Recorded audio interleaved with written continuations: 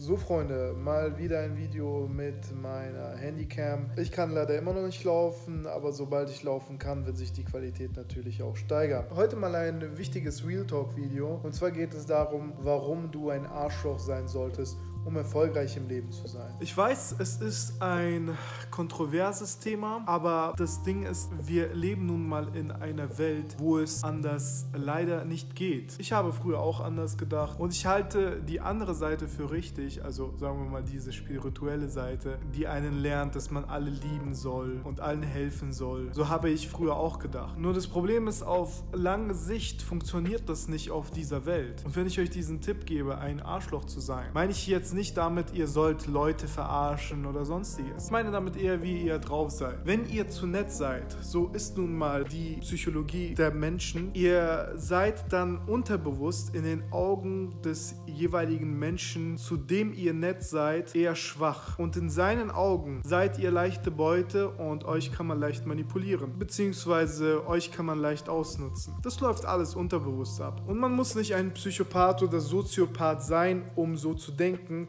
es ist einfach heutzutage in sehr, sehr, sehr, sehr, sehr vielen Menschen verankert. Ihr habt es wahrscheinlich selbst gemerkt. Ihr seid sehr nette Menschen, ihr seid zu jedem nett, aber ihr werdet von anderen schlecht behandelt. Ihr werdet das einfach so oft hören. Und wenn ihr mal nicht so gut drauf seid und wenn euch die anderen nicht so interessieren und ihr versucht auch nicht den anderen irgendwie zu gefallen oder nett zu anderen zu sein oder den anderen zu helfen, dann auf einmal entwickeln sie mehr Interesse an euch. Das wird ja immer beim Thema Dating Dating den Männern beigebracht. Dieses heiß-kalt-Spiel, dass man nicht nur nett sein soll, sondern auch ein Arschloch sein soll. Und so wird man für die Frauen interessant. Und viele denken, dass es nur bei den Frauen so funktioniert. Aber wir sind Menschen, egal ob Frau oder Mann. Das, was bei den Frauen funktioniert, funktioniert auch bei den Männern. Das wissen sehr viele nicht. Wenn du bei einer Frau den Unerreichbaren spielen sollst, was bei vielen sehr gut funktioniert und ich kann da aus meinen früheren Erfahrungen sprechen, dann wird sie viel mehr interessieren Interesse an dir haben. Es ist Fakt. Statt wenn du versuchst, ihr zu gefallen und wenn du einfach zu nett bist und wenn du alles für sie tust und wenn du dich ständig bei ihr meldest, dann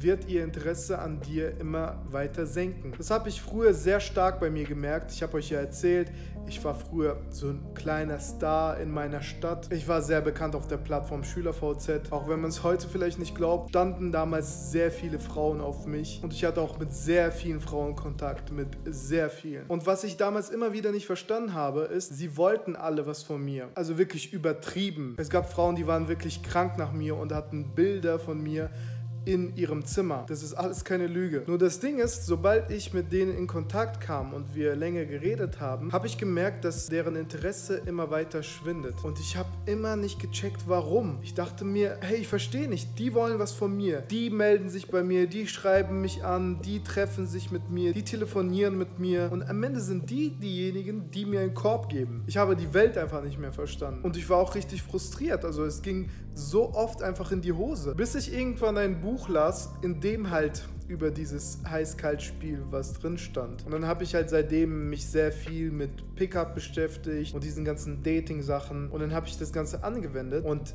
die wichtigste Sache davon, die ich euch jetzt verraten kann, ist halt dieses Heiß-Kalt-Spiel. Und was viel wichtiger an der Sache ist halt, ist das Arschloch sein. Weil nett sein ist halt nicht das Problem bei den Leuten, bei denen das mit den Frauen nicht klappt. Aber ein Arschloch zu sein, äh, fällt sehr vielen schwierig. Und irgendwann habe ich natürlich diese Charaktereigenschaft äh, an mir entwickelt, ein Arschloch zu sein. Aber das Ganze eher spielerisch, auf humorvolle Art und Weise und lustige Art und Weise. Ich habe immer den Frauen den Eindruck gemacht, dass sie mich nicht interessieren und immer halt Witze über sie gemacht und sie ein bisschen verarscht. Aber gleichzeitig war ich auch sehr sympathisch und nett und das hat halt wirklich die Frauen verzaubert. So, der Fehler an dem Ganzen war aber, dass ich dachte, dass es bei den Männern nicht so ist, also dass das nur für die Frauen gilt. Und die Männer, mit denen ich was zu tun hatte, also natürlich nicht auf sexuelle Art und Weise. Übrigens, ich habe nichts gegen Schwule. Ich selbst bin halt nur hetero. Die Männer, mit denen ich was zu tun hatte, egal ob freundschaftlich, auf der Business-Ebene oder einfach nur irgendwelche flüchtige Bekanntschaften, wenn ich nett zu denen war, dann haben sie den Respekt langsam von mir verloren. Es ist einfach so. Und ich habe so vieles Gutes für die getan. Und trotzdem war das so. Diesen Fehler habe ich halt immer weitergemacht, weil ich in meinem Kopf hatte, hey, das gilt einfach nur für die Frauen und nicht für die Männer, weil ich es halt damals so in den Büchern gelernt habe. Da stand nichts davon, dass es bei den Männern nicht funktioniert. Es war einfach nur immer von den Frauen die Rede. Und ja, es ging halt immer so weiter. Ich habe mir so viele wichtige Beziehungen in meinem Leben kaputt gemacht. Und ich sage nicht, dass die ganzen Menschen schlecht sind, mit denen ich was zu tun hatte.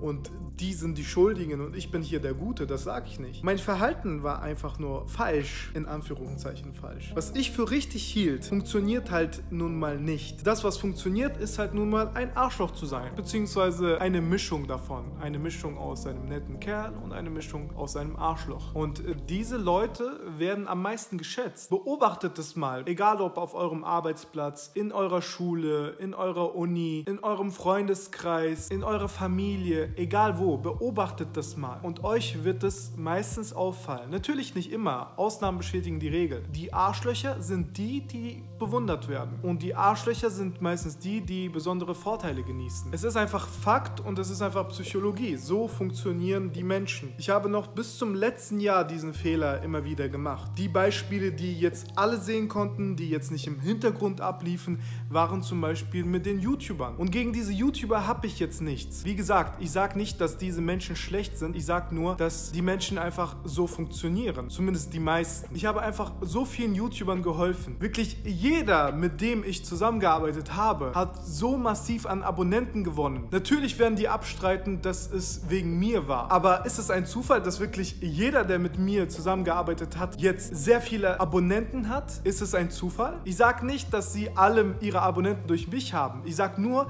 dass der Push damals erheblich war für deren Erfolg. Das ist das, was sie nicht verstehen wollen. Ich habe auch mit einem von denen gesprochen und er wollte einfach das ganz klar von sich weisen und meinte, ich hätte nichts damit zu tun. Und er macht doch heute hundertmal mehr Aufrufe als ich. Überlegt mal, Menschen, denen ihr geholfen habt, die unter 1000 Abonnenten hatten, die unter 5000 Abonnenten hatten, unter 3000 Abonnenten und so weiter. Es waren ja mehrere. Die wollen das jetzt so darstellen, beziehungsweise einer von denen, dass meine Hilfe quasi nichts wert war. Nicht ganz direkt, natürlich haben die irgendwo Danke gesagt, coole Sache, aber das war es auch schon. Und ich habe auch Videos auf deren Kanälen gemacht und natürlich auch Abonnenten bekommen. Nur, für wen ist es wichtiger? Für jemanden, der bereits eine solide Anzahl von Abonnenten hat und der schon gewachsen ist oder für jemanden, der quasi erst gerade angefangen hat vor kurzem? Für wen sind diese Aufrufe, die man da bekommt, viel wichtiger und viel relevanter? Weil die denken, okay, der hat jetzt auch ein Video auf meinem Kanal gemacht und die Sache ist abgeschlossen. Bei manchen habe ich ja nicht mal ein Video auf deren Kanal gemacht überhaupt. Ich habe quasi nur gegeben. Überleg mal, Freunde. Ich habe nur gegeben, ohne irgendetwas zu verlangen. Und der Dank ist am Ende, dass man sagt, du hattest nichts mit meinem Erfolg zu tun. Und ich denke, das würden die anderen auch tun, mit denen ich jetzt nicht darüber gesprochen habe. Also mehrere YouTuber, die krass gewachsen sind, bei denen hat es nichts mit mir zu tun, sondern es war rein zufällig. Und die anderen tausend YouTuber, die es auch in derselben Nische versuchen, die aber niemanden haben, der ihnen hilft, die versuchen es monatelang, jahrelang und können nicht wachsen. Obwohl die Qualität der Videos mindestens genauso gut ist wie von denen, denen ich geholfen habe. Aber gut, das ist ja nur ein Zufall, dass alle YouTuber YouTuber, mit denen ich zusammengearbeitet habe,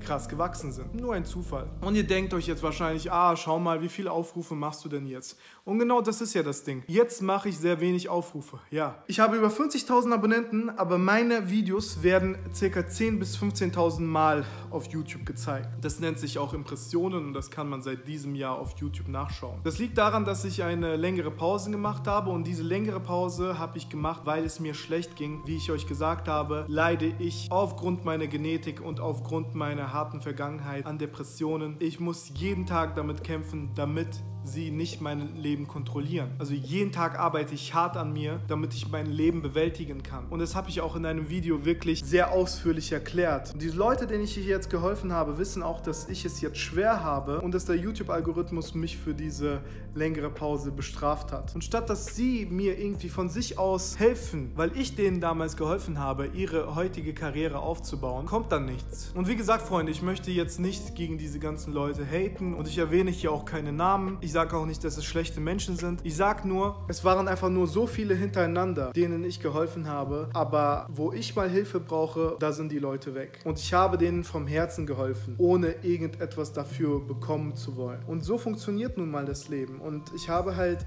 nach einer Zeit einfach beschlossen, ich arbeite mit niemandem zusammen. Die Leute, die mit mir noch zusammenarbeiten wollten, denen habe ich auch leider abgesagt. Es war mir einfach zu viel. Ich sage euch ehrlich, ich war enttäuscht. Und das Ding ist halt, dass die Leute am Anfang zu mir so nett waren und ich war einfach zu leichtgläubig, beziehungsweise zu gutgläubig, um Rapport aufzubauen, um Kontakt aufzubauen, um Vertrauen aufzubauen. Und irgendwann kam dann halt die Anfrage zur Kooperation. Und ich habe mich einfach quasi darauf verlassen. Ich dachte, oh, das sind nette Leute. Obwohl ich mich mit der Psychologie so gut auskenne. In den Momenten habe ich es quasi komplett ausgeblendet. Alles, was ich weiß. Und komischerweise, nachdem ich diesen Leuten geholfen habe, da kam kein einziger Kommentar mehr von denen. Kein einziger. Von zwei, denen ich geholfen habe, kamen ab und zu mal Kommentare, aber der Rest gar nicht mehr. Und der Rest hat sich auch sonst nie gemeldet. Und so funktioniert das. Das ist halt die Wahrheit. Ich wollte euch einfach nur mit meinen Beispielen, die in der Öffentlichkeit stattgefunden haben, verdeutlichen, dass es einfach so ist. Und das ist nicht nur meine Erfahrung, das ist Erfahrung vieler Menschen und vieler, die ich persönlich gecoacht habe. Ihr könnt ja auch eure Erfahrungen in den Kommentaren schreiben. Wie ist es bei euch? Hat es was gebracht, dass ihr zu Menschen immer sehr nett wart, immer alles getan habt, immer liebevoll wart? Wie viel hat es euch im Leben gebracht? Schreibt es mir mal in die Kommentare. Und wie gesagt, ich sage nicht, dass ihr scheiße sein sollt zu Menschen. Ihr sollt einfach nur sehr, sehr vorsichtig sein. Wenn irgendjemand nett ist, heißt nicht, dass es ein guter Mensch ist. Viele YouTuber geben sich auch so nett aus und Leute lieben sie aufgrund ihrer Maske. Sie verstellen sich total, aber die Leute denken, dass es sie sind. Und auf einmal, wenn sie von diesen YouTubern auf der Straße gesehen werden, werden sie abgeblitzt. Und die Leute sind dann verwirrt und denken, er ist doch eigentlich ein netter Typ. Und das ist halt das Problem. Lasst euch nicht täuschen.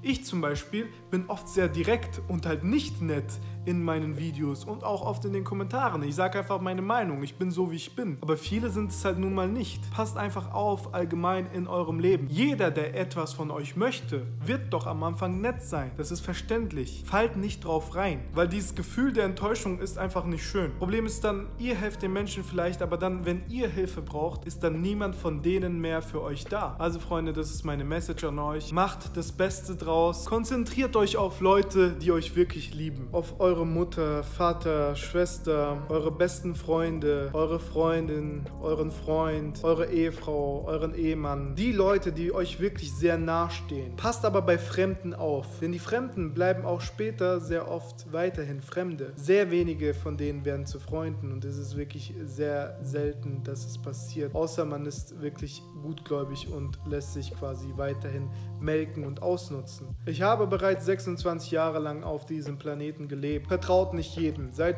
misstrauisch. So kommt ihr besser im Leben voran. Auch wenn es, äh, wie gesagt, nicht schön klingen mag und auch nicht in euer Weltbild passt. Aber es ist die Wahrheit. Ich wollte es früher auch nicht akzeptieren und wurde verarscht. Und wie gesagt, verarscht zu werden und enttäuscht zu werden, ist kein schönes Gefühl. Scheißt einfach auf alle anderen, konzentriert euch auf euch selbst, auf eure Familie, auf die nächsten Menschen in eurem Umfeld und scheißt auf die anderen. Seid hart, sagt eure Meinung, seid ruhig mal Arschlöcher und ihr werdet sehen, wie viel mehr Respekt ihr dann bekommen werdet. Natürlich sollt ihr auch eure Grenzen kennen und Feingefühl haben bei dem Ganzen. Seid hart, denn wir leben in einer harten Welt, wo jeder nur an sich selbst denkt und wo jeder ein Egoist ist. Wenn ihr aber meint, dass ihr nicht stark genug dafür seid, um jemandem die Meinung zu sagen oder einfach man selbst zu sein, dann empfehle ich euch mein kostenloses E-Book, die Selbstbewusstseinsformel, 10 Schritte zum großen Selbstbewusstsein. Das E-Book ist komplett kostenlos und der Link zu dem E-Book ist unten in der Beschreibung. In diesem E-Book verrate ich euch die 10 Schritte, mit denen ich es geschafft habe, von einem sehr schüchternen Jungen zu einem selbstbewussten Mann zu werden. Ladet euch kostenlos das E-Book jetzt runter. Wenn ihr mehr Infos von mir erfahren wollt und auf dem aktuellsten Stand bleiben wollt, dann addet mich auf Instagram Instagram. Mein Instagram-Namen seht ihr gleich hier und unten in der Beschreibung. Also Freunde, die Links zu den sozialen Medien sind unten in der Beschreibung. Abonniert meinen Kanal, falls ihr das noch nicht gemacht habt und klickt auf die Glocke, was sehr, sehr wichtig ist, damit ihr meine Videos nicht verpasst. Wir sehen uns in dem nächsten Video und bis dahin, Peace.